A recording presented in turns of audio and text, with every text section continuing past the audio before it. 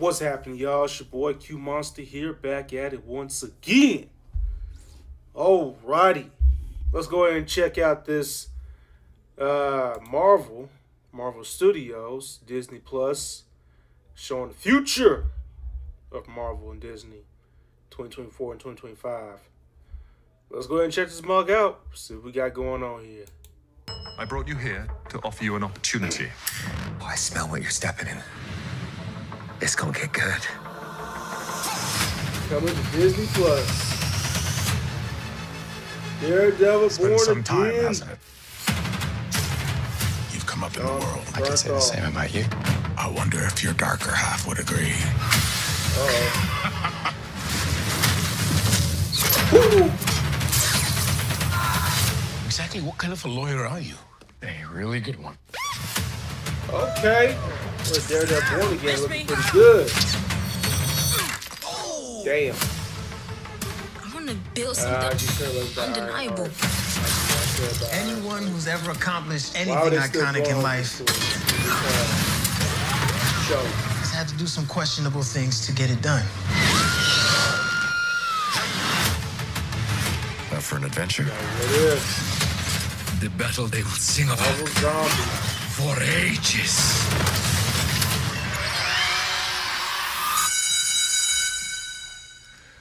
You can slate whenever you're ready.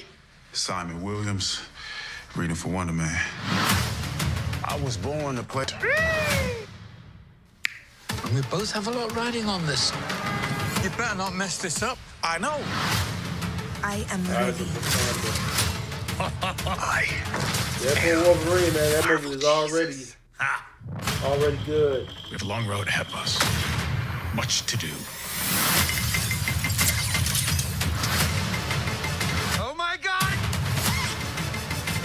2025. Only on Disney Plus.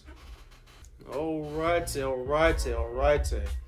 The only thing I'm excited about is Daredevil, uh, Daredevil Born Again. That's pretty much it. I mean, all the rest of the stuff is just, I don't know. I don't know if I'll get into it or not. I might go see What If again, but who knows? I don't know, man. I mean, a lot of stuff has just been you know, not good with uh, Marvel lately. You know what I'm saying? So, but the only thing that's good is like that Deadpool Wolverine though. So that one still makes a lot of money still.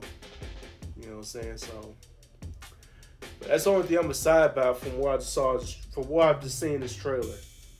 You know, it's uh, Daredevil Born Again. That's the only show I'm hyped up about. Um, I can care less about anything else. I don't know why would they put out Ironheart. It's a waste of time, bro. Waste of time, waste of money. But I don't know, man. that's that's just my opinion. Anyways, post your comments down below. We want to know what you guys think, man. What y'all think about this trailer?